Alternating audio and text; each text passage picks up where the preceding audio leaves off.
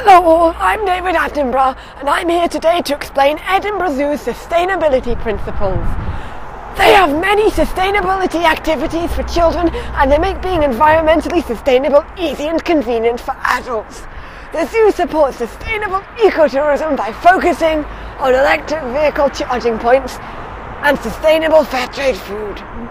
大家好，今天我在爱丁堡动物园，我是 David Attenborough, the Fan EUN.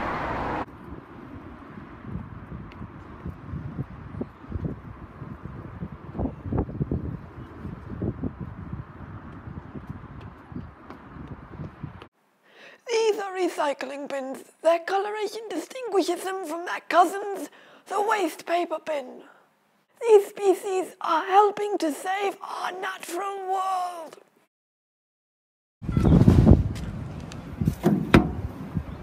The species also helps keep our paths clean. Fascinating.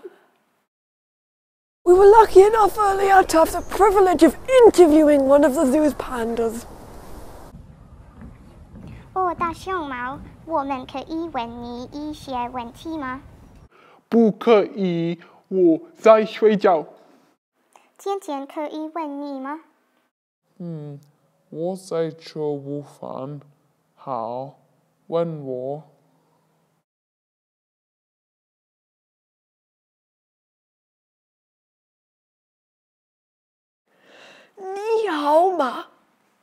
I'm fine, thank you.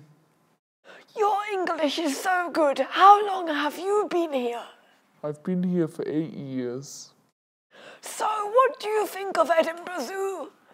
I love it here. Simply incredible! What? Just behind me is a sleeping greater one-horned rhino.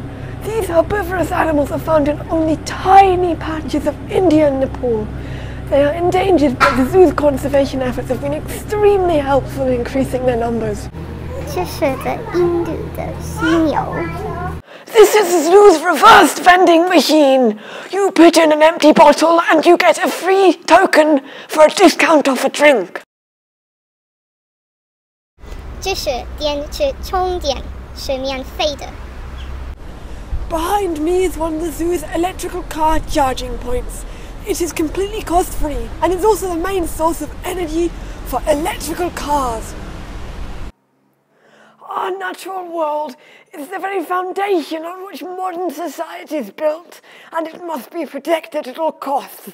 The zoo takes its responsibility to the natural world very seriously. They house endangered animals and work around the world to ensure that as many animals as possible are safe and secure in the natural habitat. Thanks to the Royal Zoological Society of Scotland for having us today, and we wish them continued success in their endeavour to protect the world's animals.